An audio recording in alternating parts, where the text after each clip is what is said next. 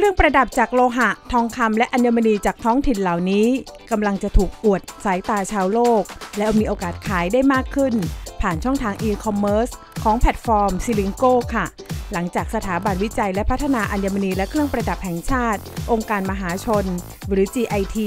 ได้จับมือกับ Zilingo แพลตฟอร์มออนไลน์น้องใหม่ไฟแรงจากประเทศสิงคโปร์ เพื่อดันยอดขายสินค้าเครื่องประดับและอัญมณีของไทย ซึ่งผู้ประกอบการส่วนใหญ่ก็สนใจเข้าร่วมในแพลตฟอร์มนี้ เพราะเชื่อว่าช่องทางตลาดออนไลน์ จะอำนวยความสะดวกผู้บริโภคที่สามารถซื้อของได้ทุกที่ทุกเวลา ที่สำคัญคือจะช่วยสร้างโอกาส ให้ผู้ประกอบการอัญมณีและเครื่องประดับรายเล็ก ๆ หรือผู้ประกอบการ SME เติบโตขึ้น ในส่วนของอุตสาหกรรมอัญมณีและเครื่องประดับเนี่ยส่วนใหญ่เนี่ยก็จะเป็นสินค้าที่ผลิตโดยใช้แรงงานในประเทศนะคะซึ่งเกี่ยวพันกับแรงงานกว่า 1.2 ล้านคนนะคะทั่วประเทศ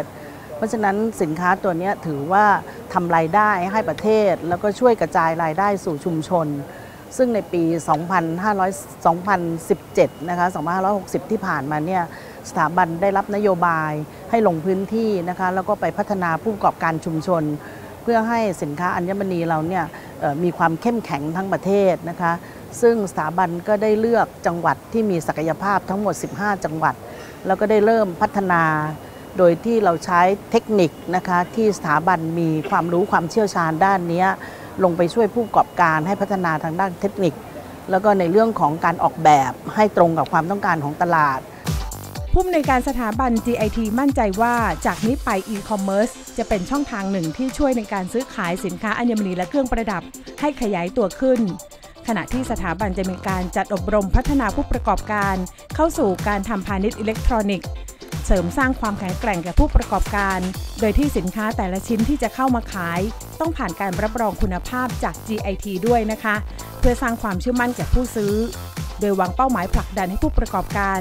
ขึ้นซื้อขายผ่านช่องทางออนไลน์ให้ได้ 100 รายภายในปีนี้ จุดประสงค์ของสถาบันเนี่ยการขายสินค้าเนี่ยก็เป็นเรื่องทางการตลาดนะคะ แต่ของสถาบันเองเนี่ยเราวัตถุประสงค์เราชัดเจนคือเราสร้างความเชื่อมั่นนะคะ เพราะฉะนั้นเนี่ยสินค้าอัญมณีเนี่ยคนที่ซื้อขายออนไลน์เนี่ยเขาไม่ได้เห็นตัวสินค้าจริง ๆ เพราะฉะนั้นในเรื่องนี้เนี่ยทางสถาบันก็สร้างความเชื่อมั่นโดยผ่านใบรับรองของ GIT ก็คือภายใต้เงื่อนไขที่ว่าถ้านำสินค้าขึ้นไปขายบนแพลตฟอร์มเนี่ยจะต้องมาผ่านการตรวจรับรองคุณภาพสินค้าจาก GIT ก่อนเพราะฉะนั้นเมื่อผู้บริโภคเปิดเข้าไปในเว็บไซต์เนี่ยเมื่อเห็นสินค้าแล้วเนี่ยก็จะเห็นใบรับรองของ GIT ด้วย เป็นการสร้างความเชื่อมั่น เพื่อให้ผู้บริโภคเนี่ยสามารถที่จะตัดสินใจซื้อสินค้าด้วยความมั่นใจนะคะ ในปี 2561 ที่ผ่านมาไทยสามารถส่งออกสินค้าอัญมณีและเครื่องประดับ ไม่รวมทองคำยังไม่ขึ้นรูป ได้กว่า